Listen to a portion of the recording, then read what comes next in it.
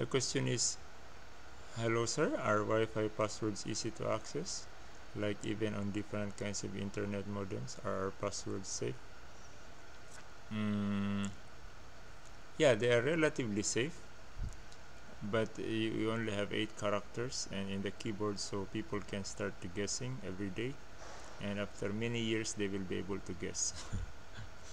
If you try to count how many days so there they actually it's not uh, you you don't don't put all your millions of peso accessible through Wi-Fi okay?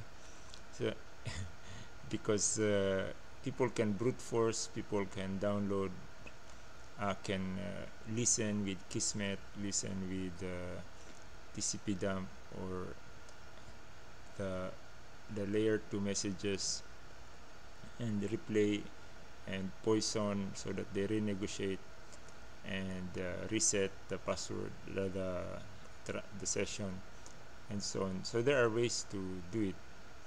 And uh, the WEP is bro broken already but the WPA is uh, not yet broken or not easily broken. But you, you know you can you can patiently break it. So don't really rely on that it's better than nothing and it keeps the neighbors uh, because if you don't use the Wi-Fi password it is worse. I mean the neighbors can see what you are typing if it's not necessary.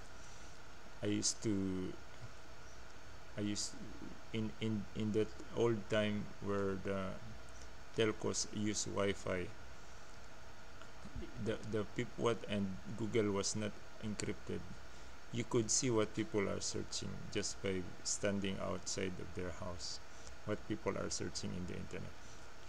So now SSL Google uses SSL everywhere so you cannot easily you cannot see. And WPA WPA2 they're not yet cracked. Otherwise uh, you have a strong password yeah but the, there you can still be patiently it can still be patiently be broken. So from time to time maybe you change it. Yeah? You change the Wi-Fi browser uh, password from time to time. And also update your router and your modem because sometimes the modem hard uh, the the what do you call this? The operating system of the modem or the internet modem or the router is outdated. And then the hackers discover a hole security vulnerability in the software that's used in the modem or the router.